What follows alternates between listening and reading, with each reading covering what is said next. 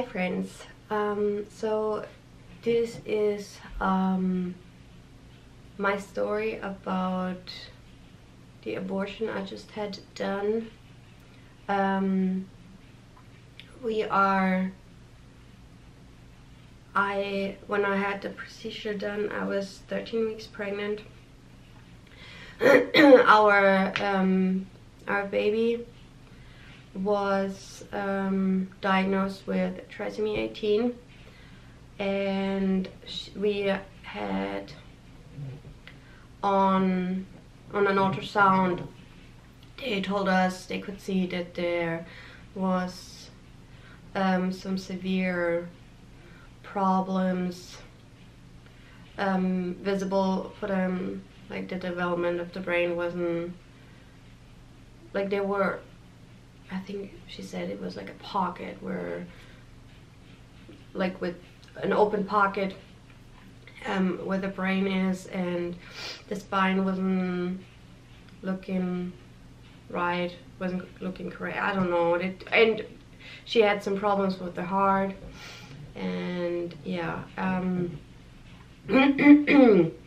they they told they they never they never told us we should abort the pregnancy. They never told us we should not abort the pregnancy. They were pretty much just um, giving us all the facts they had. Um, she said she um, I, we were talking to a doctor and a genetic counselor and she told us in case we want to have an abortion she could give us um,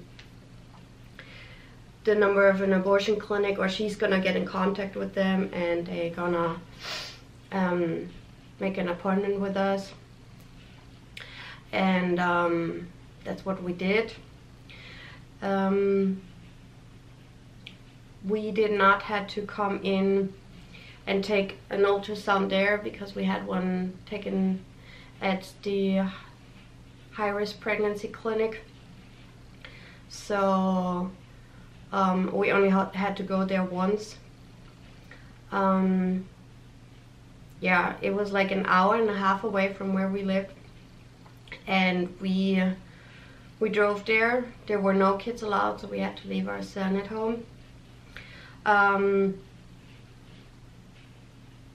we uh, got there and it was it was kind of weird. It was like an a really old building and it like you know had these high ceilings and uh, I don't know everything. It didn't look like a clinic to me. It was more like an like a museum or something. It was it was a little weird. But we got in there.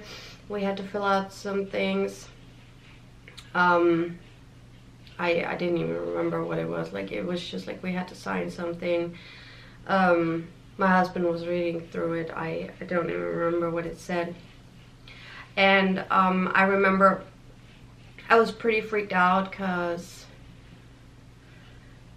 um, it was a really hard decision because we really wanted to have another child and we really wanted a girl as well.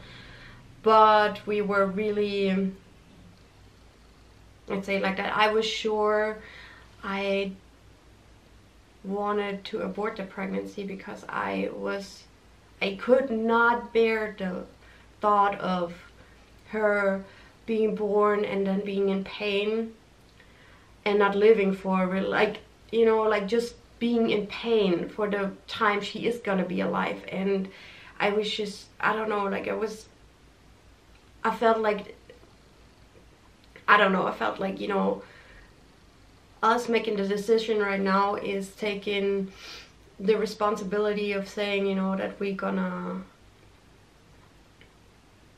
we're gonna take the pain for her, you know, like we uh, were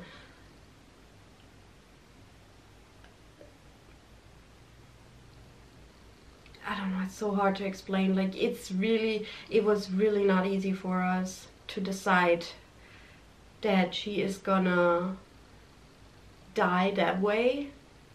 But we both felt like this was the right decision for us. And I wish it would have not been that way. or I wish I she would at least, you know, like if she would have had Down syndrome and she would have just like had a a condition she could live with, you know, and she would be handicapped and we would have to like help her with something, then there would have been like so much easier for us to say, okay, we no problem, we can do this. But it's just like, you know, the, the from what I read, from what we found out, it's just like, it was just so, like the chances of her just living longer than a couple hours after she was born were, were really slim and yeah either way i remember we drove there and jeff was asking me are you sure we're doing the right thing and i was like yeah i'm sure and i really was i was i i knew it was the right thing to do i still do know it was the right thing to do but it doesn't change the fact that it was really hard to decide this um I also asked him, are you sure that it's right, this is what you want? And he said kind of the same thing to me. Um, so we went into the clinic and it was, it was really weird. There were like, there was this one woman and she was crying and I don't know, like, you know, it was like six women there. Some had their girlfriends with them some were alone some one came with her husband and um, like from what I hear some were just there to get uh, the abortion pill and yeah they were all waiting in this room. And she said like they wait for the doctor to come in and then we would all go into the other building. And this is where the procedure would happen.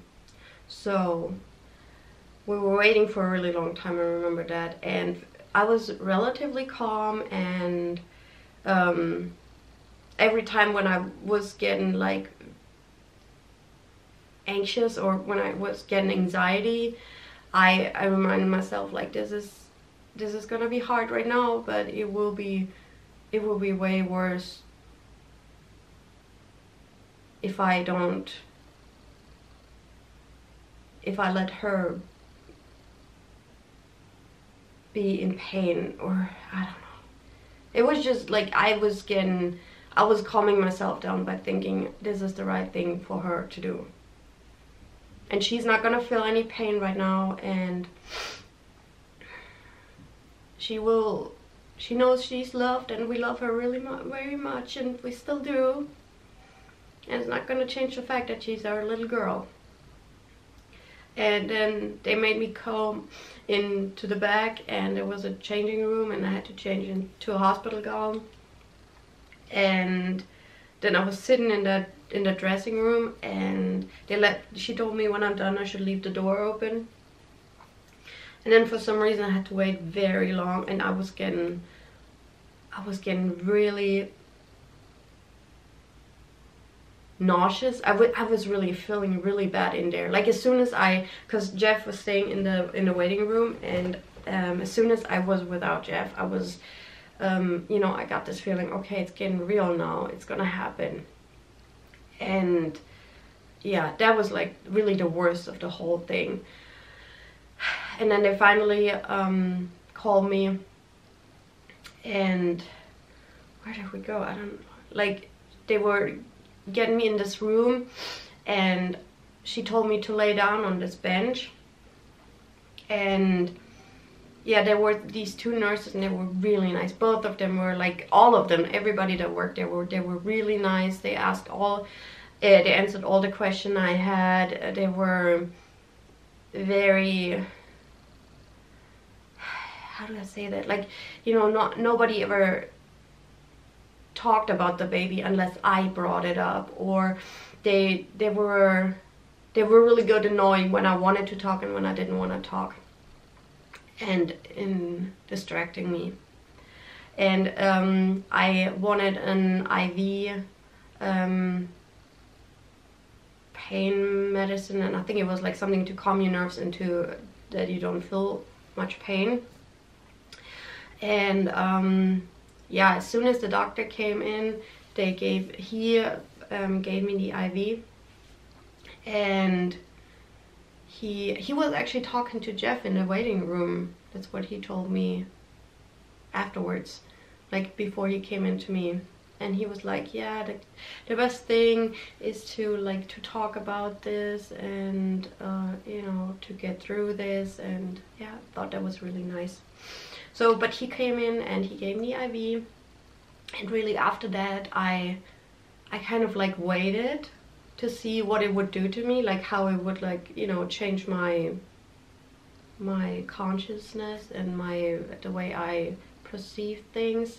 And it was really very relaxing and I was scared that I would hear the procedure or would see something and I did not. I didn't hear anything, like I didn't hear any like sucking or anything like that. I did not feel anything or at least I don't remember feeling anything. Like I, I, I think I felt something, but I tried to remember after it was done and I could not remember how it felt. So yeah, that was it. It was really, I don't know, like as soon as it was done, it was very quick too, like probably didn't even take five minutes.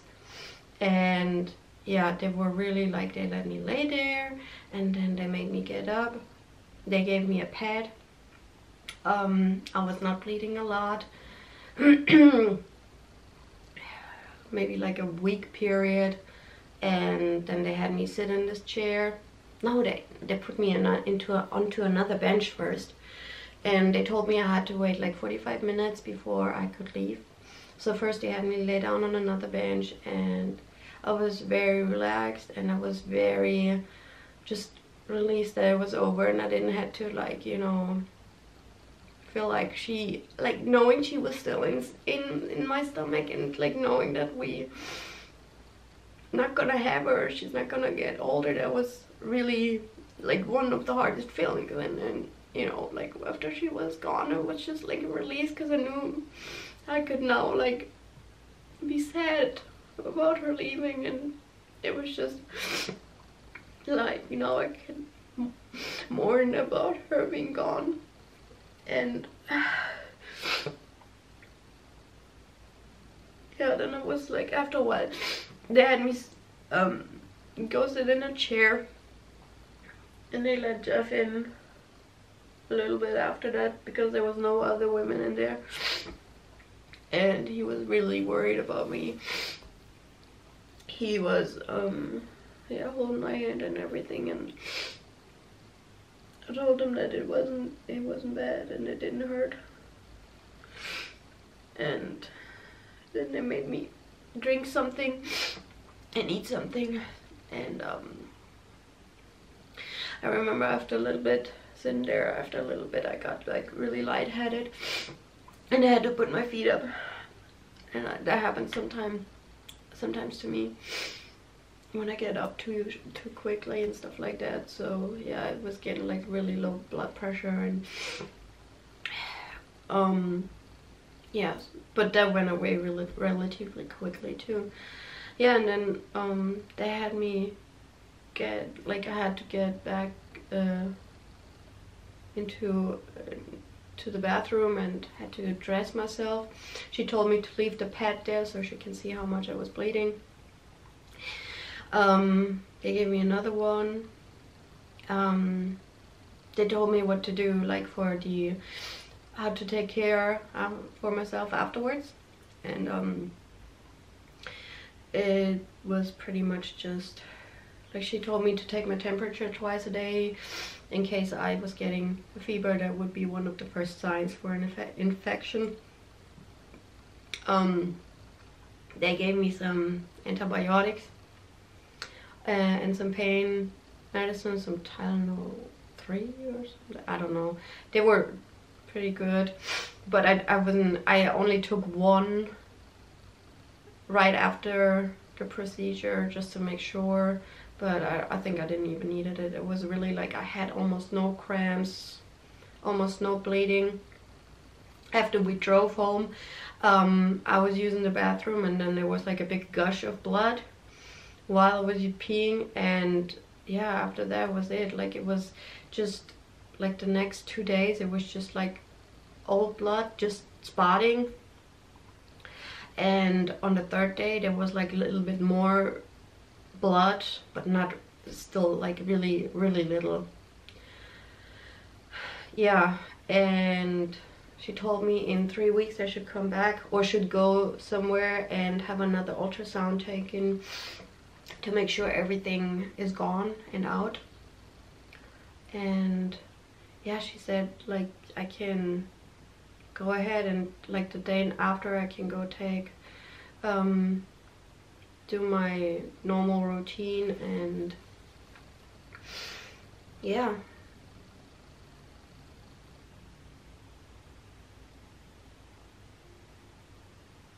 I asked her if um you know if if a lot of women are really sad afterwards or if they're gonna like you know yeah if how they feel how you feel how i'm gonna feel afterwards.